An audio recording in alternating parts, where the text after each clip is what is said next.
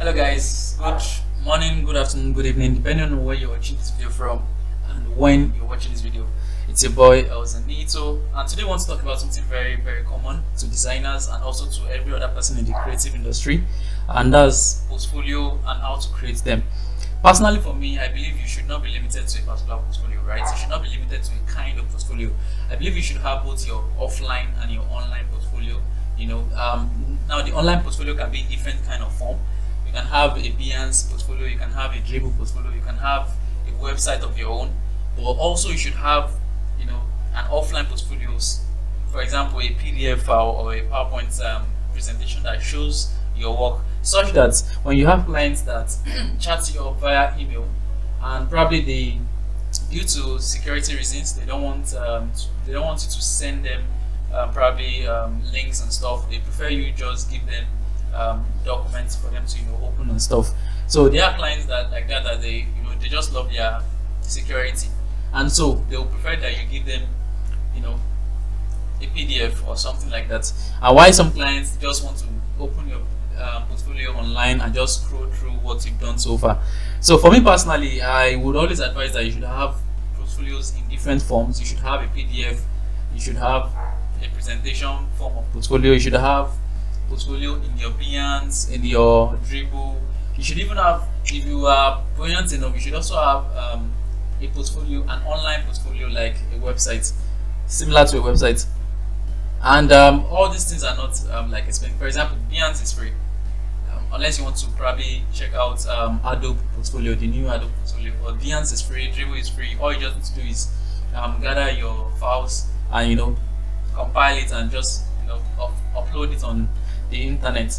So basically what I want to just show is uh, a breakdown of my personal portfolio and you will see that as much as I clamor for having multiple portfolio, I personally am, defaulting when it comes to updating my um, my designs online. So for example, the most updated um, portfolio I have is my website and I created the website um, using um, Portfoliobox. So if you go to Portfoliobox, portfolio box, um, let me just open .net right?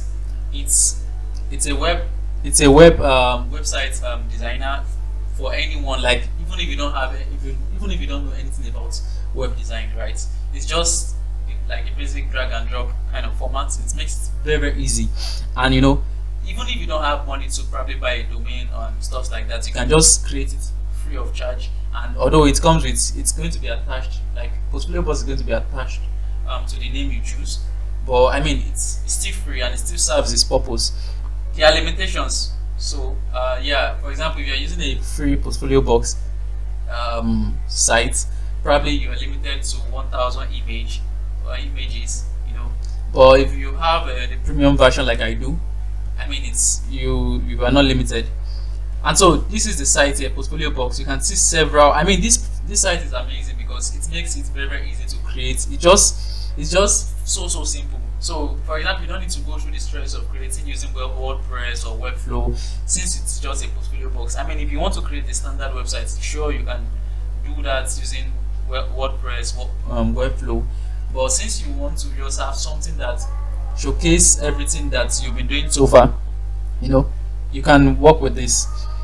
Um, yeah. All right so as i was saying um, i mean Portfoliobox you can check it out. It's an amazing site. And with Portfoliobox i was able to create this. This is my um home page right? Just this um what's it called? This design was created on photoshop. And you know something very simple. Just um, i created this um, section as well. Then a small section that talks about my favorite quotes. I mean it's my personal favorite quote. So then just a, some, a very simple um, showcase of a campaign I did with um, you know just a fictional campaign I worked on.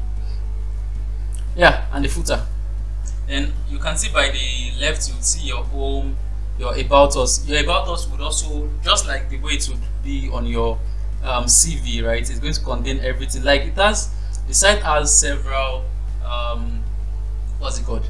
It has several options to choose from and I just you know I love dark vibes, right? I love dark themes and stuff. and so that's why I went for something dark like this. And also something very straightforward and simple you know showing the sliders and all those things. And so yeah this is about us. Then under services you can see I listed out several services I I you know offer. Then you know all these things very very simple. Even if you don't know how to design I mean all you, you just need to do is just dedicate time to it. And it's just drag and drop drag and drop and just putting in your content and all that.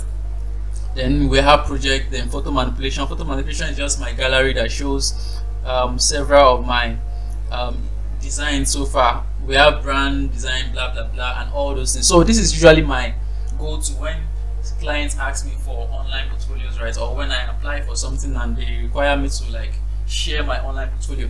So that's my go-to. Now i have a Dribbble portfolio but it's terrible because the last time i posted there was a very very long time ago. And so you can see that the most recent design i have there is a grizzly energy drink i created a long time ago. And aside that it's been a while. I mean it's just photo manipulation only. So Dribbble is more of photo manipulation only right? No brand design nothing like that. It's just photo manipulation. And so i just have this just you know just just so that yes i can say okay i have a Dribbble um portfolio. I've never used it at any point. I just love the fact that i can always go to the Dribbble site and check out for inspiration. Most of the time i come to Dribbble and behance for inspiration and not really to post because there are some amazing amazing um, designers here. Same with um, as well. Behance you can see that it's been a while. I posted also Grizzly.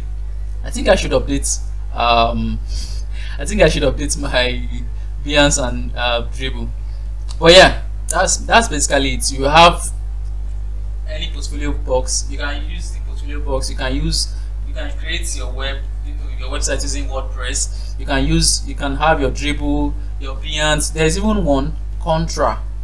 There's contra.com. You can check out Contra. Although Contra originally is to get jobs, right? Online jobs. But you know, being in, being a Nigerian, I I find it very very hard getting um, international jobs because of you know the um, the vibe that the few private Nigeria give as you know as regards these internet issues.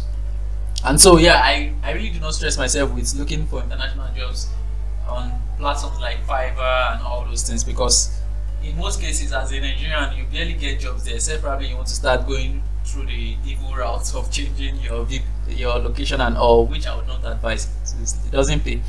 So but yeah that's just basically it. This is contra and you can see this is my contra um, page. So if I go to my portfolio I have not really done so much on the portfolio itself but it's something I can spend time working on. But contra has a very very um, and you know unique way of design and so i think i will still spend time to check around this and stuff like that.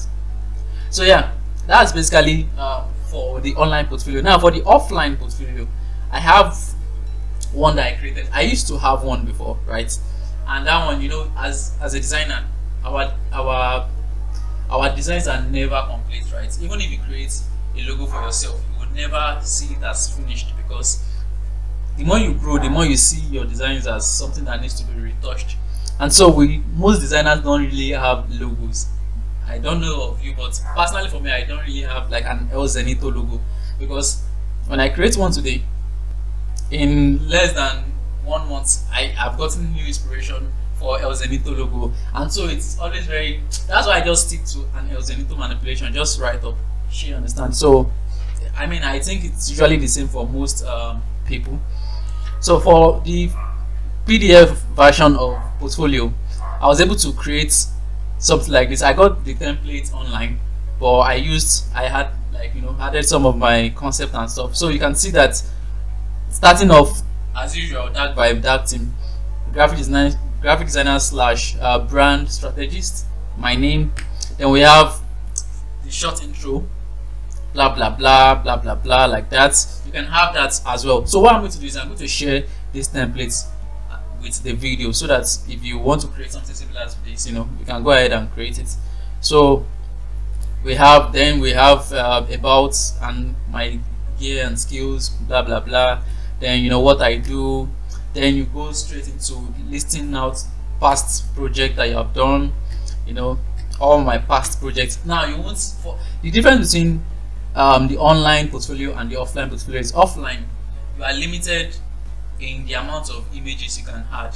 Nobody. No client wants to open a 20 page pdf no client wants to go through that right? But online you can put as much as a thousand i mean until they are tired. But off um, offline that's pdf version. You can't have a 20 page portfolio. Nobody will go through all those things. So you have to pick the best of the best. And that's to address various aspects of what you do. So we have um, for example we have um, brand identity we have um, product design we have um, ad campaign we have website design we have um, event design we have movie posters and photo editing photo manipulation logo creation. Very simple and straightforward. You can't you are limited. So you have to just stick to various sections of what you do and choose the best of best. And so yeah that's basically it. Um like i said always ensure that you have multiple um, options for your portfolio. Don't stick to just one right? And also for your cv try your best not to make your cv fancy. Nobody wants to. The fact that you're a designer does not mean your cv has to look all fine and stuff. That's what your portfolio does. Your cv is supposed to be very very clean and simple and straightforward. I had i, I used to think my cv has to be very very fancy you know put effects put my face and all those things. No it's cv your curriculum vitae or whatever it is pronounced you, it has to be very, very simple and straightforward. It's a formal document, so make it as formal and minimal as possible. And so, yeah, that's basically um, all for today. Um, I'm going to see you guys next time.